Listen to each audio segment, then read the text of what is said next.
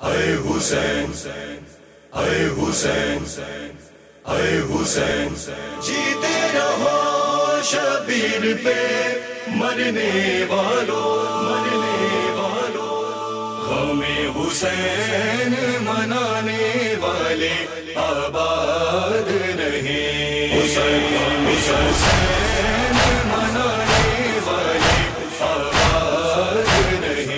اعوذ باللہ من الشیطان الرجیم، بسم اللہ الرحمن الرحیم۔ السلام والا علی الحسین والا علی ابن الحسین والا اولاد الحسین والا اصحاب الحسین۔ ایام اعضا کی خصوصی ٹرانسمیشن میں قائم ٹی وی کے تمام دیکھنے اور سننے والوں کو اسلام 24/7 فور سیون اور سید مصر مرزا کی طرف سے السلام علیکم۔ ناظرین کرام، آج تین محرم الحرام۔ اطاعت امام کے ذیل میں آج ہم ان بچوں کا ذکر کریں گے کہ جو غربت میں بے وطن، جو غربت میں وطن سے دور شہید کر دیے گئے۔ آج کے ہمارے گیسٹ آغا سید زیغم علی رضوی صاحب، ہم بہت شکر گزار ہیں کہ کہ مصروف ترین دنوں میں آپ نے ہمیں ٹائم دیا۔ تو آئیے آج کے پروگرام کا آغاز کرتے ہیں۔ دربار میں جب کٹ کے یتیموں کے سر آئے، ڈوبے ہوئے دو چاند لہو میں نظر آئے۔ غل پڑ گیا مسلم کے یہ لختے جگر آئے، غربت زدہ بے وطن و بے پدر آئے۔ شمشیر ستم چل گئی ان نوحہ گروں پر، کیا بے کسی و یاس برستی ہے سروں پر۔ السلام علیکم آغا خیریت سے؟ السلام۔ آغا میں بہت شکر گزار ہوں آپ کو کہ اتنے مصروف ترین دنوں میں آپ نے ہمیں ٹائم دیا۔ آغا آج کا ہمارا ٹاپک جناب مسلم کے بچوں کا ذکر اور اطاعت امام کے ذیل میں ہم ان بچوں کا ذکر کریں گے۔ میرا پہلا سوال آپ سے یہ ہے کہ کیا حضرت مسلم اپنے بچوں کے ساتھ کوفے آئے تھے؟ اعوذ باللہ من الشیطان الرجیم بسم اللہ الرحمن الرحیم۔ الحمد للہ وصلاۃ وسلام علی اہلہ الحمد للہ جعلنا من المتمسکین بالقرآن الکریم و بولایت امیر المومنین علیہ والسلام بہت شکریہ آپ کا کہ آپ نے اپنے پروگرام میں ایک مرتبہ پھر مجھے مدعو کیا اور یقیناً آپ کی جو صحیح ہے وہ پروردگار عالم کی بارگاہ میں قبول بھی ہے مقبول بھی ہے اور آپ نے اسی طریقے سے مجھے بھی ثواب میں جو ہے وہ شامل کیا آپ کا سوال آ، تاریخی اعتبار سے اگر دیکھا جائے تو بہت اہمیت کا حامل بھی ہے اور کافی نازک مرحلہ بھی ہے کیونکہ بہت ساری روایات جو ہیں وہ اس آ، مد میں ہم تک ملی ہیں۔ مثلا نفس المحموم کو اگر ہم دیکھتے ہیں اور دمت الثاقبہ کے اندر بھی نظر کرتے ہیں تو جو زیادہ معتبر مقاتل ہیں وہ ہمیں جو زیادہ روایات دکھاتے ہیں اس میں یہ دکھاتے ہیں کہ یہ ساتھ تو نہیں آئے تھے۔ یقیناً اب ان کی دو صورتیں جو ہیں وہ بیان کی جاتی ہیں کہ یہ کربلا کے وہ جو عصر کا ہنگام تھا بپا تھا اس وقت یہ لوگ یہ اپنے کوفہ کی سرحد کی طرف آ گئے ہیں اور یہ کوفہ میں داخل ہو گئے ہیں۔ رات کے وقت وہ بھٹک گئے ہیں وہاں سے۔ ایک وجہ ایک یہ معاملہ نظر آتا ہے۔ اور دوسرا یہ کہ جو کچھ روایات کے اندر کہ جناب وہ ساتھ ان کو لے کر آئے تھے۔ جو بیان کی جاتی ہیں۔ یہاں تک کہ حضرت مسلم بن عقیل کے ان دونوں بیٹوں کا تذکرہ جو ہوتا ہے روایات میں تو یوں تک بھی ہے کہ یہ حضرت مسلم کے بیٹے تو ہیں لیکن حضرت رقیہ کی اولاد نہیں ہیں تو اچھا۔ ہاں ان کو کچھ روایات کے اندر ان کو حضرت جعفر کی اولاد بھی بیان کیا جاتا ہے۔ تو اس حد تک جو ہے وہ معاملات کچھ مبہم ہیں۔ لیکن جو جیسے نفس المحموم میں قومی صاحب جو بیان کر رہے ہیں اور دمت الثاقبہ ہے اس میں جو ہمیں نظر آتی ہیں چیزیں، وہ جو، جس کو معتبر جانا گیا اور سب سے بڑھ کر یہ کہ شیخ صدوق نے جس روایات کو، جس کو لیا ہے، وہ یہی لیا ہے کہ ان بچوں کی جو اسیری اور ان کی شہادت کا ہونا کوفے میں یہ یقیناً ثابت ہے۔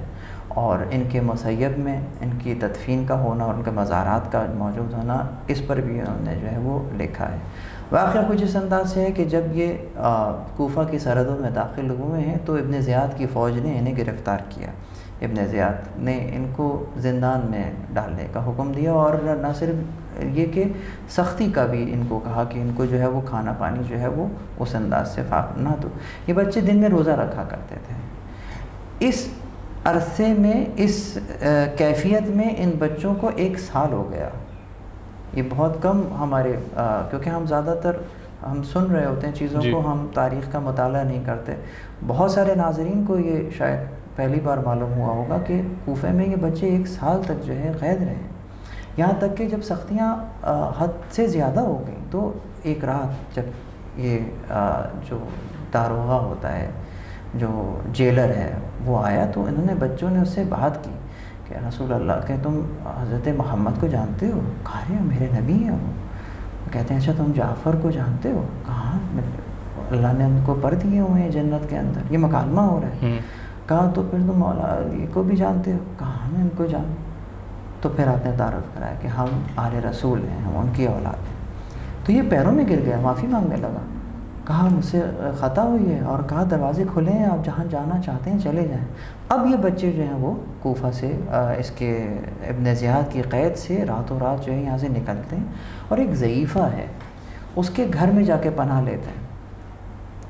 جب یہاں پر انہوں نے پناہ لی واقعہ بہت طویل ہے میں مختصر کروں کہ کس طریقے سے یہ جو ہے ابن زیاد کی قید میں پھر دوبارہ سے اس انداز سے آ جاتے ہیں۔ تو وہ جب ان کو پتہ لگتا ہے ابن زیاد کو کہ یہ زندان سے جا چکے ہیں، تو یہ اپنے سپاہیوں کو حکم دیتا ہے کہ تلاش کرو۔ انعام رکھ دیتا ہے ان کے سروں کی کہ جناب جو ان کو لے کر آئے گا، اس کو اتنا انعام ملے گا۔ ٹھیک ہے؟ تو یہاں پر پھر بھی یہ حارث جو شخص ہے اور یہ اپنے ہی گھر کے اندر جب جاتا ہے اور ان کو شک ہوتا ہے کہ میرے گھر میں کوئی موجود ہے، جب ان بچوں سے ملتا ہے تو تو یہ اپنا یہ باتیں ہم عموماً مسائب میں پڑھ رہے جی، ہوتے جی۔ ہیں لیکن تو کس طریقے سے یہ ان کے اوپر تشدد کرتا ہے اور اس کے بعد پھر انہیں جو ہے وہ قتل کے ارادے سے فراد کے کنارے لے کے جا رہا ہے اور پھر ان کو انشاءاللہ وقت ہوا تو ان کی شہادت کے جی، بیان میں بیان کروں گا۔ اچھا اگر جیسے ابھی آپ نے بتایا ایک سال تک ابن زیاد کے قید میں یہ بچے قید رہے۔ تو اگر ہم ویسے دیکھے جائیں تو جناب مسلم کی شہادت ایک سال پہلے ہو چکی۔ جی بالکل۔ اور واقعہ کربلا بھی ہو چکا۔ جی بالکل۔ تو پھر ابن زیاد کو ان بچوں سے کیا ڈر ہے؟ مطلب دیکھنے میں تو بچے ہی ہیں۔ ان کی عمر کتنی تاریخ میں ہے؟ تو کیا ڈر ہے ابن زیاد کو ان سے بچوں جی جی۔ بات بچوں کی نہیں ہے۔ ڈر تو وہی ہے کہ جو کہ پسر سات کو چھ مہینے کے بچے سے ڈر تھا۔ تو یہ حسین علیہ السلاۃ وسلام کی جو فوج ہے یہ ایک دنیا کی منفرد ترین فوج ہے کہ اگر ایک قطار میں کھڑی کی جائے تو اس کے ایک سرے پہ اگر عمر کے حساب سے اگر ایک قطار بنائی جائے تو اس فوج کا ایک سرا پہ سو سال کے قریب بوڑھا بھی نظر آئے گا اور دوسرے سرے پہ چھ ماہ کا بچہ بھی نظر آئے گا۔ تو یہ تو ایک بہت ہی بنیادی ضرورت ہے جس سے لیکن اصلاً اگر دیکھا جائے وہ محرومیت کیا ہے؟ کس شے کے امام علیہ السلاۃ والسلام کو کس شے سے محروم کیا ہے؟ اگر ہم بات فقط پانی کی حد تک رکھیں گے تو یہ کوئی بہت بڑی بات نہیں ہے۔ یقیناً یہ تو ایک ہر جاندار کا حق ہے کہ اس کو پانی دیا جائے۔ امام کا یہ حق غصب نہیں ہوا ہے۔ امام کا حق کچھ اور ہے جو غصب ہوا ہے۔ وہ حق کیا غصب ہوا ہے؟ زیارت عربین کے اندر اگر ہمیں نظر آتا ہے کہ لعن اللہ امتا دفعتکم عن مقامکم۔ وَأَذَالَتْكُمْ عَنْ مَرَاتِبِكُمْ الَّتِي رَتَبَكُمُ اللَّهُ فِيهَا۔ لان ہو اس امت کے اوپر کہ جس نے آپ کو دفعتکم عن مقامکم آپ کو آپ کے مقام سے دور کر دیا۔ یعنی کہ یہ بہت بڑا ظلم ہوا آپ کے اوپر کہ جو آپ کا مقام تھا وہ اس مقام سے آپ کو دور کر دیا۔ وَدَفَعَتْكُمْ عَنْ مَقَامِكُمْ وَأَذَّلَتْكُمْ عَنْ مَرَاتِبِكُمْ الَّتِي رَتَبَكُمُ اللَّهُ فِيهَا۔ کہ آپ کو اس مرتبے سے گرا دیا جو اللہ نے آپ کو دیا تھا۔ نہیں کہ جو خدا نے آپ کو مرتبہ دیا تھا اس سے گرا دیا اور آپ کو آپ کے حق سے دور کر دیا۔ یہ بہت بڑا ظلم ہے۔ ظلم کہتے ہی اسی کو ہیں کہ اگر کسی شے کو اس کے مقام سے ہٹا دیا جائے تو یہ ظلم ہے۔ تو اب اگر یہ ظلم ہے تو آپ کس کو کس کے مقام سے ہٹا رہے ہو کہ جو خدا نے ان کو دیا ہے اس سے بڑا کوئی اور ظلم نہیں ہوگا۔ اسی ظلم کے تسلسل میں پھر سارے ظلم ہیں۔ صحیح۔ جب آپ نے ان کو وہ مقام ہی نہ دیا تو یقیناً جب حجت زمان کو ہی تنہا کر دیا تو اس کے بعد پھر آپ کے لیے کیا باقی رہ جاتا ہے؟ تو اس لیے جو ہے وہ حاکم وقت کو چاہے وہ ایک بچے سے ہی کیوں نہ کوئی ہمدردی کا پہلو نظر آئے اس نے ان کو جو ہے وہ قید کیا اور لوگوں سے کاٹ کر رکھا کہ لوگوں کے درمیان میں یہ نہ جانے پائیں صحیح۔ ناظرین کرام ہم اپنی ڈسکشن کو یہیں روکتے ہیں ایک بریک کا وقت ہوا چاہتا ہے۔ ہم بریک سے واپس آ کے اپنی ڈسکشن کو یہیں سے کنٹینیو شبیر پہ۔ مرنے والوں، جیتے رہو شبیر پہ، مرنے والوں۔ السلام علیکم ناظرین۔ بہت خوب آگا آپ نے تفصیل سے بتایا۔ تو آگا پھر ہم یہ کہہ سکتے ہیں کہ حضرت مسلم جب کوفے آئے، تو وہ تو پیغام لے کے آئے تھے امام حسین کا۔ جنگ کرنے تو نہیں آئے تھے، جبکہ ان کو شہید کر دیا گیا۔ اور حضرت مسلم کے بچوں کو بھی قید کر لیا گیا۔ تو کیا یہ حاکم وقت کی طرف سے اعلان جنگ نہیں تھا؟ جی ہاں بالکل حاکم کی طرف سے اعلان جنگ تھا اور دوسری طرف حاکم کو ان کا پیغام ہی قبول نہیں تھا۔ اس لیے کہ حضرت مسلم تو بیت لینے آئے تھے۔ حضرت مسلم تو سفیر بن کر آئے تھے۔ یقیناً اہل کوفہ کے لیے مسلم کی حیثیت جب وہ بیت کر رہے تھے تو ان کے ہاتھ کی حیثیت گویا امام حسین علیہ السلام کے ہاتھ کی تھی۔ سفیر کا مطلب یہی ہوتا ہے کہ ان کی نیابت میں میں بیت لے رہا ہوں۔ تو اب سوال یہ پیدا ہوتا ہے کہ بیت کس لیے لے رہے تھے؟ انہوں نے بلایا تھا کہ ہم پر کوئی امام نہیں ہے۔ ٹھیک ہے؟ تو یقیناً یہ امام کو اس انداز سے بلا رہے تھے کہ آپ آئیں اور ہم پر حکومت کریں اور قانون کو جو ہے، خدا کے قانون کو زمین پر نافذ کریں۔ تو مسلم اسی کام کے لیے آئے تھے۔ تو یقیناً اگر یہ تمام کے تمام لوگ مسلم کا اس انداز سے ساتھ دیتے حضرت مسلم بن عقیل کا اور امام حسین علیہ السلاۃ والسلام کو ان کا جو ظاہری مقام ہے کہ جو کہ خدا نے انہیں دیا یہاں پر اس دنیا کے لیے اگر حق حکومت بھی ان کو دے دیتے تو یقیناً پھر ابن زیاد اور ان کے اور آس پاس کے لوگوں کی حکومت کہاں جاتی؟ تو یقیناً حاکم کو اپنی حکومت جاتی ہوئی نظر آ رہی تھی۔ مسلم کا وجود حاکم کو برداشت نہیں تھا۔ تو اب چاہے مسلم امن ہی کا پیغام لے کر آئیں لیکن اس امن کے پیغام میں باطل کی موت ہے۔ تو یقیناً وہ اس کو کبھی بھی اس شکست کو قبول نہیں کرے گا اسی لیے انہوں نے ان کو زندان میں ڈالا اور ان کو جو ہے وہ اذیتیں دینے کے بعد جو ہے وہ شہید کر دیا۔ دوسری طرف ہمیں یہ نظر آتا ہے کہ جو بنو امیہ کی حکومت ہے وہ چل ہی رہی تھی تین اصولوں پر۔ ایک تھی بیت شکنی۔ دوسری تھی اطاعت امیر اور تیسری التظام جماعت یہ تین اصول ہیں۔ پیغمبر نے تو پورا پیکج دیا ہے نا۔ تو ہم نے دیکھا ان تین وجوہات کی بنا پر یہ جو میں نے آپ کے شرائط بیان کی لوگ ڈرے ہوئے تھے خوف زدہ تھے کہ یقیناً ابن زیاد کے مقابل پہ کھڑے ہونے کا مطلب یہ ہے کہ بالکل اپنے ہستی کو مٹا دینا اپنی جان مال عزت و آبرو کو بالکل سڑک پہ لے آنا۔ تو یہ کام جو ہے وہ فقط وہی کر سکتے ہیں جو مخلص ہوں۔ کس کے لیے؟ دین کے لیے مخلص ہوں۔ جو دین خدا کے لیے خالص ہوں وہ پھر اپنی جان کی پرواہ نہیں کرتے۔ یہاں تک کہ ہم یہ خود دیکھتے ہیں کہ مولانا حسین علیہ السلۃ والسلام نے اپنے گھر بار اور اپنی جان کو دے کر یہ اعلان کر دیا کہ دیکھو دین پر سب قربان کیا جا سکتا ہے لیکن دین کو کسی شے پر قربان نہیں کیا جا سکتا۔ یہ اصول ہے۔ یہ اصول ہے۔ اور پھر یہ بھی ہم نے دیکھا کہ چاہے کچھ ہو جائے امام نے بیعت نہیں کی۔ یہ سوال کیا جاتا ہے کہ جب سب لوگوں نے بیعت کر لی تھی تو پھر امام نے بیعت کیوں نہیں کی تھی؟ بڑے بڑے لوگوں نے بیعت کر لی تھی تو امام بھی بیعت کر لیتے۔ بنیادی طور پر یہ سوال غلط ہے۔ سوال یہ نہیں ہونا چاہیے کہ جب سب نے بیعت کر لی تھی تو امام نے بیعت کیوں کی۔ سوال یہ ہونا چاہیے کہ جب امام نے بیعت نہیں کی تھی تو باقی سب نے بیعت کیوں کر لی؟ سبحان اللہ۔ اپنے سوالوں کو بدلیں۔ اپنے فریم آف ریفرنس کو چینج کریں۔ امام نے کہاں سے سفر کیا کہاں پہ ختم کیا؟ نہ۔ امام نے جس سفر کو اختیار کیا وہ مکے سے شروع نہیں ہوتا۔ امام نے جس سفر کو اختیار کیا وہ کربلا پر ختم نہیں ہوتا۔ اس کی منزل کیا ہے؟ منزل لقاء اللہ ہے۔ امام نے اپنے جس انداز سے سفر شروع کیا ہے، وہ خدا کی جانب سفر شروع کیا ہے۔ خدا کی جانب جو ہے، وہ امام کی سبقت ہے۔ اور وہاں پر جا کر یہ ختم ہوتا ہے۔ تو ہر ہر وہ مومن، ہر ہر وہ زندہ سماعت رکھنے والا جو اس وقت ہماری اس گفتگو کو سن رہا ہے، وہ آج اپنا محاسبہ کرے کہ میں دین کے لیے کیا کر رہا ہوں؟ میرے اعمال سے دین کتنا کس قدر خدا کے دین کو کیا تقویت مل رہی ہے؟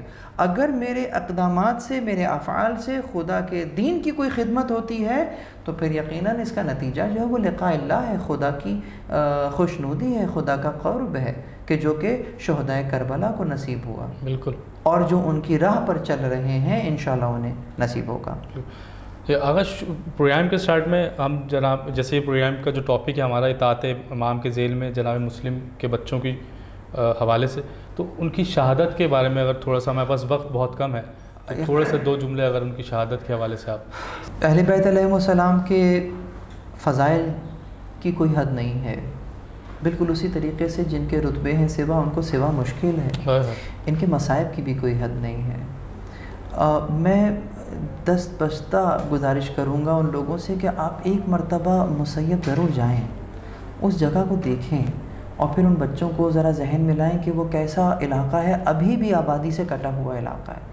یہ بچے چھپتے چھپاتے کس طریقے سے وہاں پر پہنچے تھے؟ جب حارث ملعون کو معلوم ہوا کہ یہ انہی کے گھر میں موجود ہیں، ایک جملہ میں دمت و ثاقبہ سے پڑھ رہا ہوں، عموماً نہیں پڑھا جاتا۔ خدا کرے کہ ہم اس کو اس کا حق ادا کر سکیں۔ جب ان بچوں کو خیال رہے یہ ابن زیاد کی قید میں رہ چکے تھے۔ جب یہ قید سے گئے ہیں زندان سے فرار ہوئے ہیں اور اس کے بعد پھر حارث ان کو قتل کر کے لے کر آتا ہے تو تاریخ میں ملتا ہے کہ جب اس نے تھیلے میں سے یہ دونوں سر نکالے ہیں تو ابن زیاد اپنی کرسی سے کھڑا ہو گیا بیٹھا۔ پھر کھڑا ہوا۔ تین مرتبہ یہ کرسی سے کھڑا ہوتا ہے اور بیٹھتا ہے، دیکھ نہیں پا رہا ہوں چہروں کو۔ یہ کن کے سر ہیں؟ کہا، یہ مسلم کے بیٹے محمد اور ابراہیم ہیں۔ تو پھر وہی کہتا ہے کہ میں نے تو ان بچوں کو دیکھا ہے۔ یہ بچوں کے چہرے تو چاند کی طرح چمک رہے ہوتے تھے۔ یہ ان کے چہروں پر یہ سیاہ نشانات کیسے ہیں؟ پھر یہ ملون بیان کرتا ہے کہ جب میں ان کو ڈھونڈ کر گھر پہنچا، اب یہ پورا واقعہ بیان کرتا ہے۔ تو یہ میرے ہی گھر میں موجود تھے۔ تو مجھے اس قدر غصہ آیا کہ میں نے اپنا غصہ جو ہے ان بچوں کے چہرے پر جو ہے وہ اتار دیا۔ تو ابن زیاد سے بھی یہ برداشت نہ ہوا۔ یہ ظلم، یہ ستم جو خود شقی ترین شخص ہے، وہ ان بچوں کو دیکھ کے برداشت نہ چاہ پھر اس نے پورا واقعہ سنا۔ کیا ہوا؟ جب ان کو لے کر گئے فرحاد کے کنارے ان بچوں کو قتل کرنے کے لیے واقعات طویل مختصر کر رہا ہوں۔ تلوار نکالی ہے قتل کرنے کے لیے تو بچے ایک سوال کرتے ہیں سنیں ہمارے عزاداران جو ہیں ان بچوں کی آخری کلمات کو سنیں۔ کہتے ہیں کہ ہمیں اجازت دے دے کہ ہم چار رکت نماز جو ہیں وہ ادا کریں۔ تو وہاں فرات کے کنارے جو ہیں انہوں نے دریا فرات کے کنارے انہوں نے یہ چار رکت نماز جو ہے وہ ادا کی۔ مناجات کر رہے تھے کہ اس نے جو ہے وہ بڑے بھائی کی گردن جو ہے وہ اڑا دی تاریخ میں ملتا ہے کہ اس نے اس کو سر، اس نے ان کے جسد کو لے کر اور دریا کے حوالے کر دیا، دریا میں پھینک دیا۔ اب یہاں سے ایک معجزہ نظر آیا کہ پانی بہہ رہا ہے۔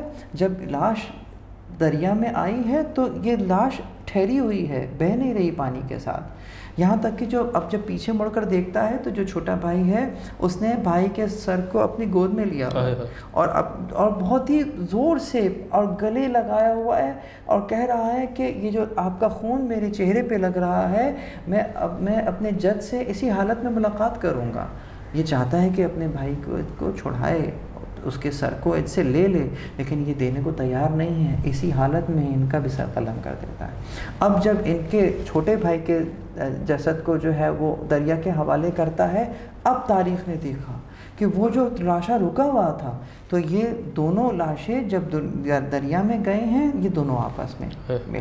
اور اس کے بعد انہوں نے جو ہے وہ بہنا شروع کیا ہے۔ یہ یہ معلوم پھر ان کے سروں کو لے کر اور پھر ابن زیاد تک۔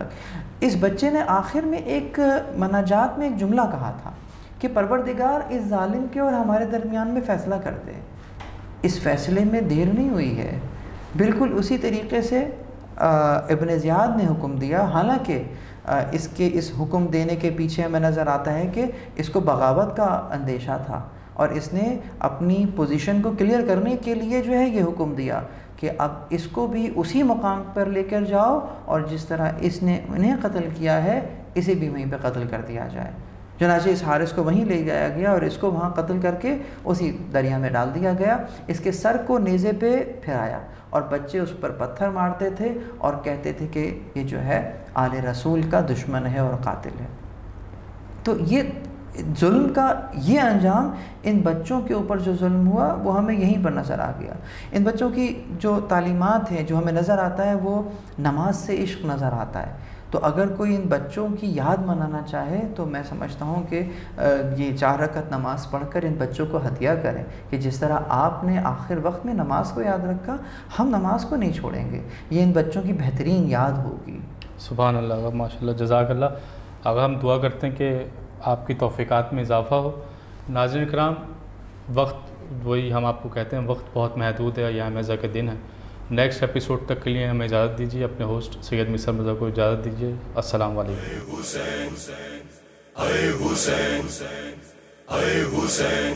جیتے